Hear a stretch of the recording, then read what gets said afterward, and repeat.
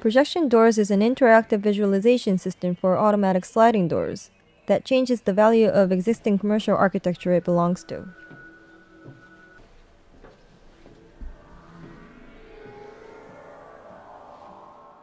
Places with the glass automatic sliding doors are common enough that they have become almost unnoticeable or even invisible. Nobody really has remarks about the door other than the function of opening and closing.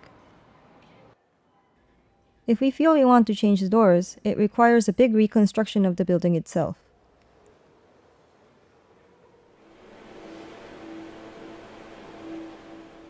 Projection doors reveals a novel experience of passing through the automatic sliding doors.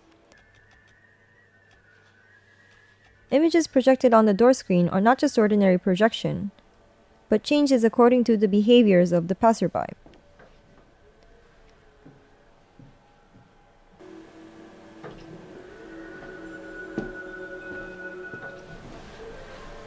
Projection doors easily changes static architecture to dynamic ones, and weaves the story of the place together with those that walk through.